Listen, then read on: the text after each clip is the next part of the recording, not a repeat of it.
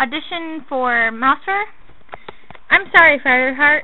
I think you're talking sense, but that's not the point. The warrior code isn't something you stick to just when you feel like it.